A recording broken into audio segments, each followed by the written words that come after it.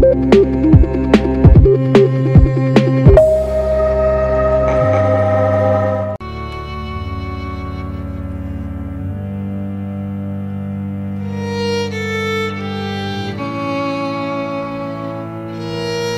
anggota polisi bernama Sukitman menjadi saksi tragedi kelam G30 SPKI yang meninggalkan coretan hitam dalam sejarah bangsa Indonesia.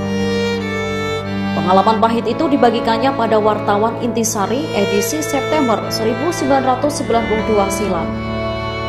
Sukitman kala itu masih berpangkat agen polisi 2 kala ikut merasakan getirnya udara malam 30 September 1965. Kala itu ia sedang menjalankan tugas di seksi VM Kebayoran Baru atau sekarang Kores 704 yang berlokasi di Wisma Auri di Jalan Iskandar Syah, Jakarta bersama Sutarso yang berpangkat sama.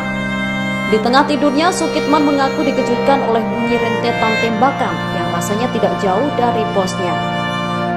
Tanggung jawabnya pada tugas membuat Sukitman mencari sumber tembakan Sugitman yang kala itu baru berusia 22 tahun, kaget dan lemas kala seseorang berbaju loreng dan berbaret merah mencegatnya dan memintanya melempar senjata.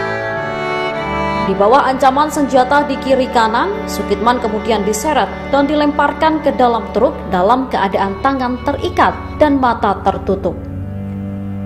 Entah di mana akhirnya kendaraan yang membawa Sukitman berhenti.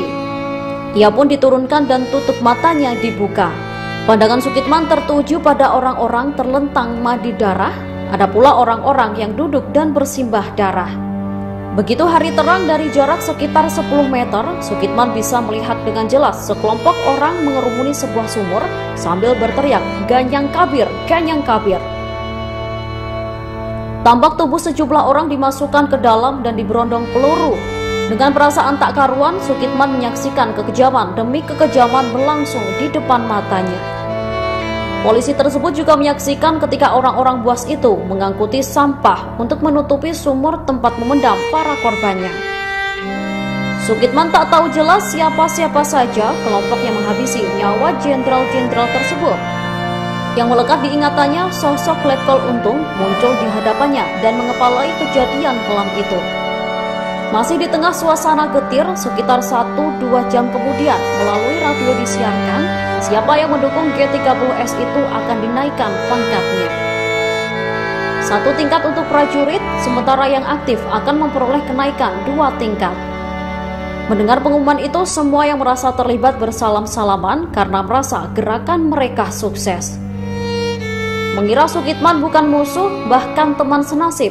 Jumat sore itu Sukitman diajak menuju Halim bersama iring-iringan pasukan. Sesampainya di Gunung Penas, daerah Bypass, sekarang Jalan Jenderal Ahmad Yani, pasukan itu diturunkan di lapangan, sementara Sukitman masih bersama Dul Arif. Lewat pertemuannya itu, Sukitman akhirnya mengerti kata Ganyang Kabir adalah membunuh para jenderal.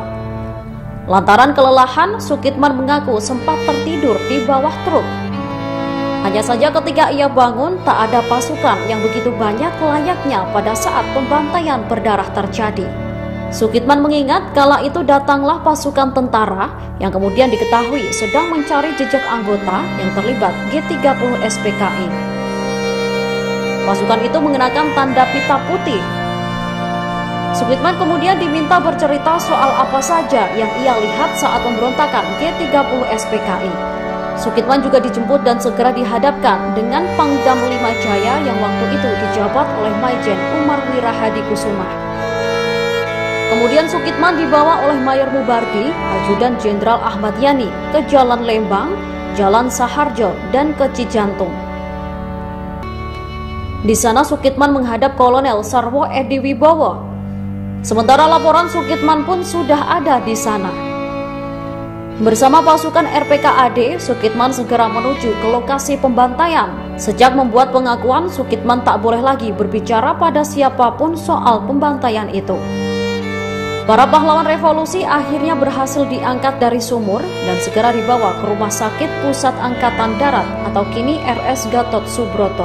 Bintang Satria Tamtama diperolehnya bertepatan dengan Hari Kepolisian 1 Juli 1966 dan Bintang Satya Penegak diberikan oleh Presiden Soeharto tepat pada Hari ABRI 5 Oktober 1966.